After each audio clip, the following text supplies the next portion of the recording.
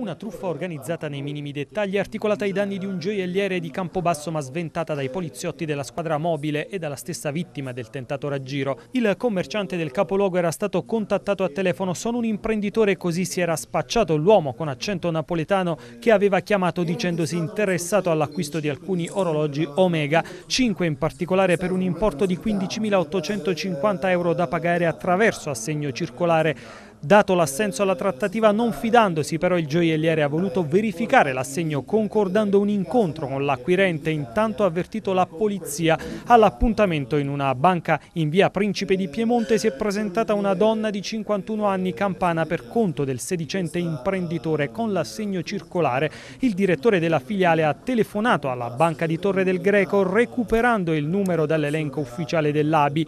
Convinto di parlare con l'istituto di credito, ha avuto le informazioni e le garanzie per l'effettuazione del versamento sul conto corrente del gioielliere, ma le verifiche della mobile hanno portato alla luce la truffa. La telefonata alla banca di Torre del Greco in realtà era stata deviata a un complice della donna e non alla filiale, il cui centralino da giorni risultava avere guasti. Inoltre si è scoperto che il numero da cui chiamava il falso imprenditore era da utenza intestata a una multinazionale di Milano. Ben congegnata eh, perché in questa eh, modalità di truffa c'è cascata anche il sistema bancario eh, che normalmente utilizza eh, eh la modalità telefonica per avere la conferma della benemissione, benefondi, insomma qualora si tratti di negoziare assegni.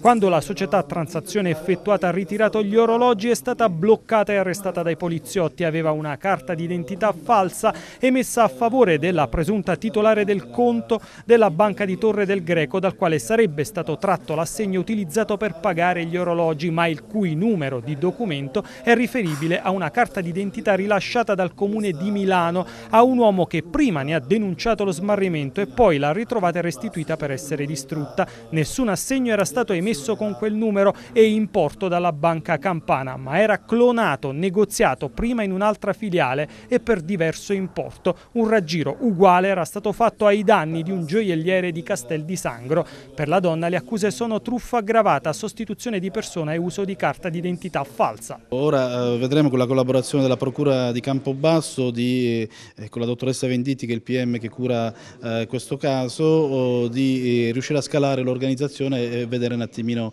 eh, chi c'è dietro. Perché basta navigare sul web per trovare tutta una serie di truffe fatte con questa modalità